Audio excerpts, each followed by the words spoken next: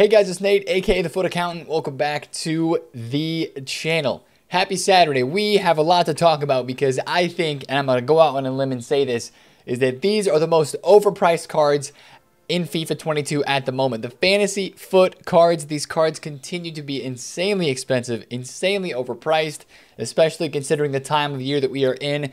But the market is fine with that at the moment, and people are fine paying absurd amounts of coins like 5 5.8, 5.9 million coins for a brand new Ousmane Dembele on the game. So I want to take a look at these fantasy FUT cards from team number two, talk about, again, why they're so expensive. It does make sense a little bit why they're this high, but I think what really is going to happen in the end is that these cards are going to drop off a lot in value in the next month.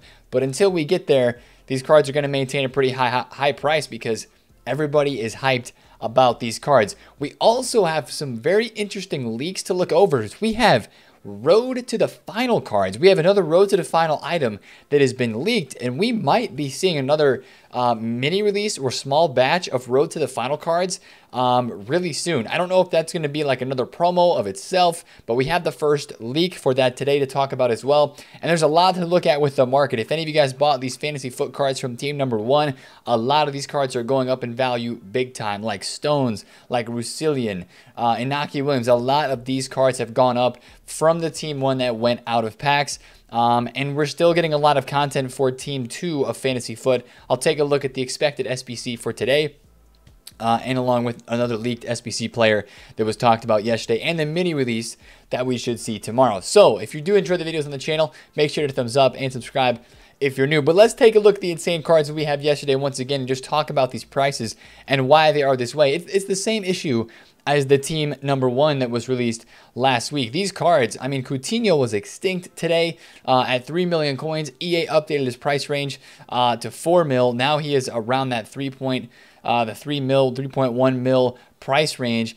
I know this card is so cool. I know this card is hype, but again, the main thing that why I'm telling you these cards are insanely overpriced is because the upgrades are basically priced in for these cards already, right? I know that EA is releasing a bunch of insane player items that haven't had special cards this year or not very many. This Coutinho is cracked. Yes, I know Premier League transfer as well. It's really exciting. But what I'm going to tell you right now is we're going to have cards with these exact same same level of stats in one month's time or one like, like five weeks time during the heart of team of the season cards with stats like this and better are going to be like 300 to 500k instead of 3 million coins. That's where the issue is with these cards right now. Team of the season destroys the market because there's so many cards released and they're so great of stats, weak foot, skill move upgrades, and a lot of TOTS cards as well. If you go back and look at last year, they did a decent amount of those. And uh, there's just so many of them. The market just absolutely dies. And especially in this year's market of FIFA 22, cards have been cheaper than ever. But still, at the moment, we have these cards that just seem very, very expensive. But it's it's all the hype, right? It's all the hype right now. And EA, EA know what they're doing with this. This is all greatly and perfectly implemented by EA to make people buy um, cards that are very expensive right now with the potential to upgrade, right? They'll, they'll have upgrades probably in the next like two to three to four weeks. That's kind of the time frame that we're going to be having with these cards. But of course, once we get to that th third to fourth week, we're going to be talking a lot about team of the season, and these prices are probably going to drop right as those upgrades are coming in for a lot of these cards. So as of right now, people are seeing like the end with these cards, and that's why they're so expensive. They're also really rare on the market. Again, it's perfectly calculated by EA. I think this is really just a lot of cards that they're releasing to get people excited about a brand new type of promo. But then unfortunately, what's going to happen is a lot of people are going to lose coins on these cards as we get into team of the season. So just don't hold these cards for that long. I'm going to talk about it more throughout this week. Um, but again, th these are the hype cards that are on the game right now, and they're releasing really dope special items for a lot of players that haven't had special cards. So it's understandable why why it's very hyped. And there's not a lot of great SBCs at the moment either um, that are you know draining coins off the market to kind of counteract how expensive these cards are as well. Martinelli is 630. All right, nice. He's going up. I got a couple of those just about a about an hour ago. These guys were kind of reaching low points um, early into this Saturday morning, and they're starting to rebound back just from a little bit of rarity. So you've already seen these cards fluctuate a lot on the market, but a lot of them are very high in price. Not all of them, though. If we take a look at the full team, you know, of course, I'm going to look at Ousmane, Coutinho, Martial, which, by the way, Martial has the low, low work rates, which is what we were afraid of.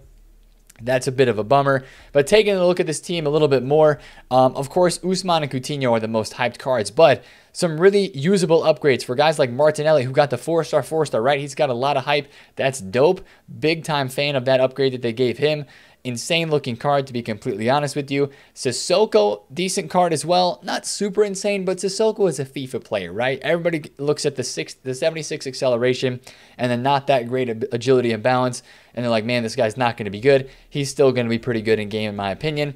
Um, I think the Atal card has a nice boost as well, and he's only 229,000 coins which really isn't that bad. Bamba's pretty cheap for a French left mid. A lot of people are going to go out and, and, put him in their teams. I also think this Hin- Hincapié is a really good card for a budget Bundesliga team. Bundesliga is not getting a lot of love in this promo, but uh, that card looks pretty sick. So again, this was the team. Basically, what we saw as leaked and what we talked about in yesterday's video as the leak squad was 100% true, except for Aouar, Alvarez, and Marino. And these are expected to be these three cards are expected to be our mini release tomorrow on Sunday. That's what we expect to see for those items. So the Aouar, everybody waiting for that. Probably coming in the next two days. Um, you know, mini releases are most of the time on Sunday uh, in this game. So watch out for those three cards coming out a little bit later on this weekend. Now, a couple of other cards that were released, of course, we did have an objective and we had ourselves an SBC. The SBC was a pretty solid one. I honestly think that the Perisic that we got yesterday is a nice card. Again, you start to think about, especially if you notice the cards on the market are so overpriced because they're rare um, and because it seems like they already have the upgrades priced into them. If this 89 rated Perisic card was not even live and upgrading and it was on the market, um, I feel like if he was 89 rated, he would be around the price that his SBC is, honestly. Um, really solid item. He is going to be usable in so many different areas of the pitch. If you run a Serie A team, 92 pace, 89 shooting. This SBC is coming in at like what, 100 and Futbin says right now it's 150,000 coins for this Perisic. Potential upgrades for this dude as well. He plays a lot for Inter. Inter doing very well in the Serie A. Very likely to get some upgrades, if not a plus three in total, and to um, hit all those upgrade um, qualifications to get that big time plus three this could be a really, really insane center midfielder or a center attacking mid or maybe even a left wing back or a, left mid in a 3-5-2 or something. This card looks really, really good. So if you're a Serie A team going to craft this this week, hopefully we get some good player picks to craft that SBC, but that's a really good looking card. That was a pretty solid piece of content yesterday, but not a big enough piece of content to really move the market that much. A couple of your Serie A cards rose, but not that many. And then our objective from yesterday with Lo Celso that is not a good card. I mean, EA Sports, this is uh, honestly a pretty big letdown. It's not that much work. Uh, seven separate matches, which I think is less than Simon. You had to do 10 separate matches for him. But like comparing this objective from last week to this objective this week, I mean, that's just a huge difference. This card, they needed to give him like plus, he needed to be like 90 passing, 90 dribble, 80 defense, 85, like plus three or four in every single stat category to make this card a lot more usable and something that people would want to grind for. So, you know, I'm a little bit underwhelmed by that one. That's just uh, my opinion there. But that was all of our content for yesterday. Seriously, other than that, I think we had a pack supply SBC.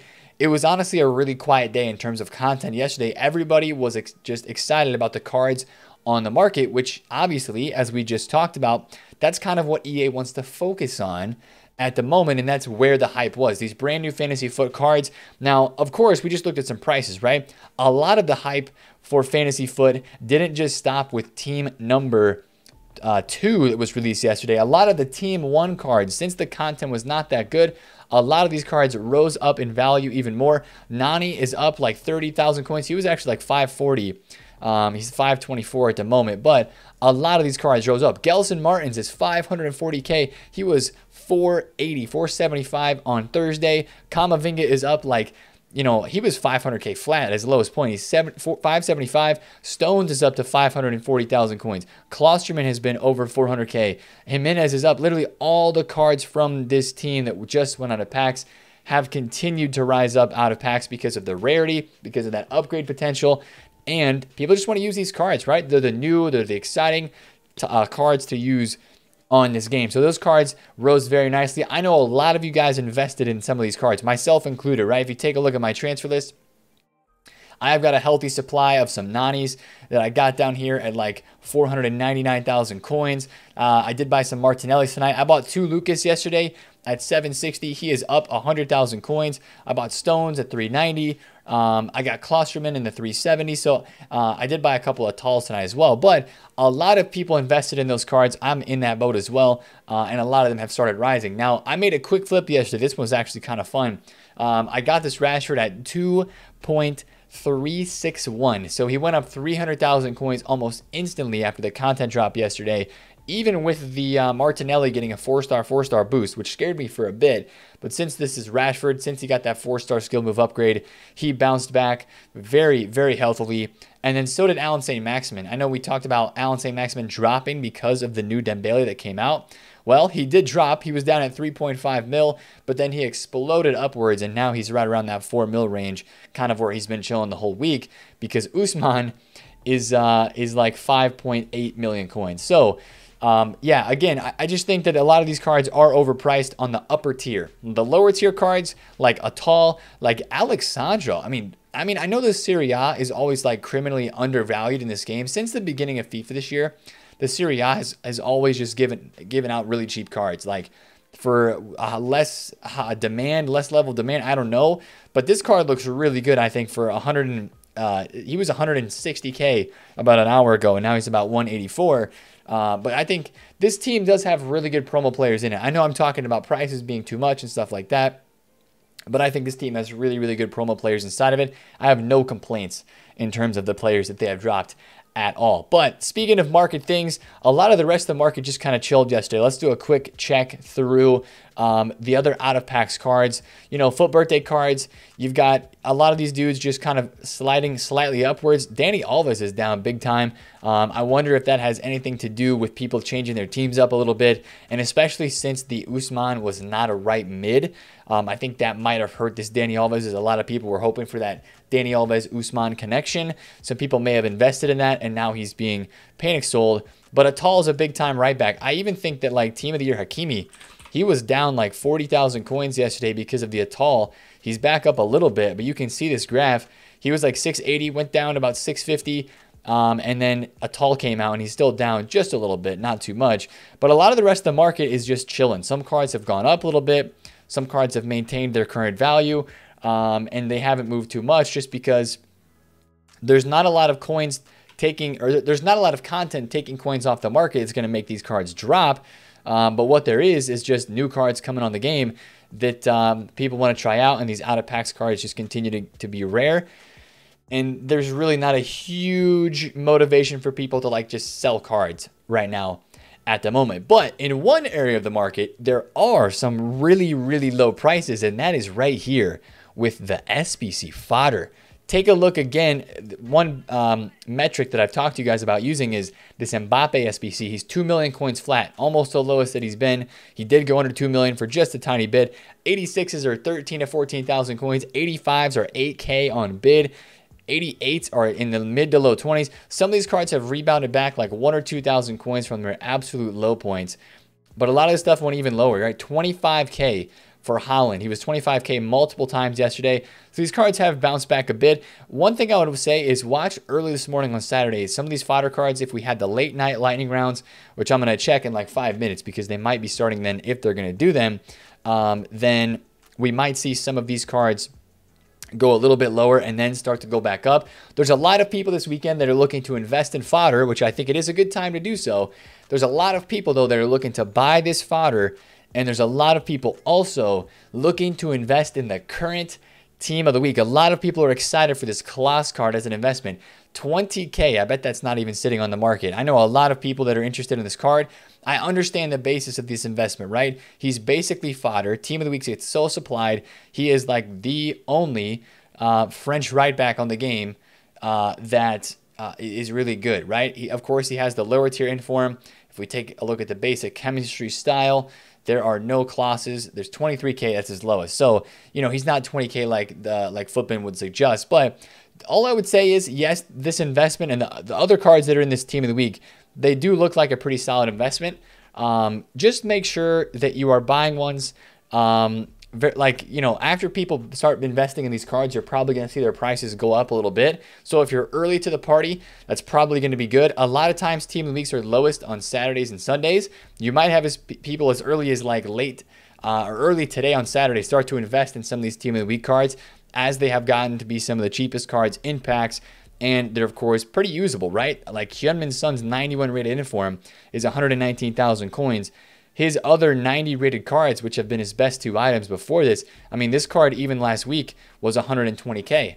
So his 91 card, which of course has plus two pace and plus two passing on his uh, other inform, and is better than his other card here, is already uh, so cheap. So there's a lot of people looking to invest in this team of the week for fodder and for rises out of packs, which I think could happen, but also with all the insane supply with the lightning rounds that EA is running, you just have to be careful, and that rise might not take place within a day or two days or three days. So just be careful if you're investing in this team of the week as well. I do think there's some decent buys in here, but just be careful again as we uh, head throughout the weekend and as you have a lot of people looking to invest in that stuff. So again, let's take a look at today quickly. Saturday content. What could we be seeing on this game? I believe this is going to be the SBC we see today. Madueke Last Saturday, we had the Caliaguri SBC. I think we're going to have another one today. They'll start off with two back to back days with player SBCs. This was the second card that was leaked. Now, we do have another leak as well for a player SBC coming pretty soon, and that is this Donyell Malen. Stats are predicted. So this might be like an SBC we see on Monday uh, or maybe Wednesday, something like that later on this week. But that's a pretty dope card. Hopefully the stats are maybe a little bit better than that. But uh, another a Dortmund special card, maybe some Bundesliga hype returning if they continue with some of this stuff. And then just because I scrolled past it and you guys are like, what is this? This game is not for a couple weeks, but there was a showdown added between Lyon and West Ham for the Europa League game that is happening in a couple weeks. Um, so this is not 100% confirmed yet. We'll probably circle back this when we get closer to the time frame. Um, but Yarmolenko and Thiago Mendes, that could be a nice little showdown SBC that a lot of people would be very interested in on this game. Now, last thing I want to talk about in today's video, and then we'll check the lightning rounds to see if there's uh, if they're going to drop any here in a second. Um, but last thing I want to look at is some leaks that we saw just tonight uh, and into today on Saturday. FUT Sheriff here, here says, Big W, we should see a new RTTF mini batch soon. Now, I'm not really sure when this is going to be. He says it's a mini batch, but we got our first leaked player for it. And this is kind of weird timing that he's getting this on like a Friday night into Saturday. Memphis Depay is going to be in the mini batch of Road to the Final cards. I think they did this last year as well. They dropped like a third team just to kind of put out some extra Road to the Final cards. But this card looks pretty good. 90s everywhere. You can see pace, dribble, shooting, and passing for a Barcelona live item for Mr. Depay. So this has me curious. If we're getting the leaks for these cards, are they going to be dropping these Road to the Finals either today instead of Man of the Matches, uh, tomorrow with the mini release of the Fantasy FUT cards, or is this not going to be until next week? I really don't know. But if you continue to see more leaks for these cards, just be ready, I guess, and be um, alarmed that these cards could potentially be coming, more live cards coming to the game. So that'd be kind of cool. And since we have a official stat leak, that makes me think that it might be pretty soon. That's just my opinion. We'll see. Um, because when we get the official stat leaks, usually we're a couple days away from these being dropped. So I wouldn't be surprised if these are this weekend. But we will see what ends up happening with those road to the final cards. So that's just one, something I wanted to point it out really fast. I don't know the other cards that are going to be a part of it. If it's a mini release, probably somewhere between three to five players that they would put um, into packs. Hopefully covering some of the teams that don't have live items that are still in the competition at the moment. So hopefully we'll see some of that when they go ahead and drop that content. Now let's check for the late night LRs. Bang. Wow, 50,000 of them. I'll say this, I almost guarantee you these do not sell out. Even though they're the 85 plus star packs and people love these, these uh, lightning rounds have not been selling out. I'm pretty sure that every single lightning round that EA put out yesterday, I didn't see all of them, but the first three didn't even sell out because I think people are just right now, it, it's in that time frame of FIFA where they're they're not spending as many FIFA points I know these cards are cracked and EA is trying their best to get people to spend some money on FIFA points, but a lot of people are not. And I think that's just because uh, they know team of the season is coming or um, you know, they know it's that time of the year where there's going to be some more to come. So they're just kind of waiting uh, to drop those FIFA points if they are going to spend them. So that's going to be the video for today, lads. I know it's a crazy market. I know you're like, Nate, can I make coins right now? Yes, you just kind of have to trade with the fluctuations. And I think a lot of people are making coins, but they're unrealized gains um, on some of these uh, cards from Team 1 that have risen out of packs. If you're wanting to know when to sell these, I'm not selling them yet unless we have some insane content uh, that's going to drop the whole entire market. These cards are probably going to maintain their price. They're rare, out of packs, and the games are upcoming this next week, uh, or not this next week, but next week after the first of the month that are going to potentially upgrade those cards. So I'm still holding on to all the ones that I bought, and we'll probably just kind of monitor monitor their prices over over this next week and see where they go and see what content EA does. But we're just gonna sit on them, man. Let them rise, let them get more rare, and then uh, we'll we will sell as we get closer to that time frame. That's kind of my thoughts on those. So hopefully your weekend leagues are going well if you're grinding, um, and hopefully your just weekend in general is going pretty well. Again, happy Saturday, and uh, yeah. Hopefully it's a fun day on FIFA. I will be streaming today, so check that link down below in the description if you have not been there before. But that's going to be the video for today. If you guys did enjoy it, smash a thumbs up on it. And of course, subscribe if you're new. It's been Nathan FUT Accountant. I'll catch you guys later. Peace out.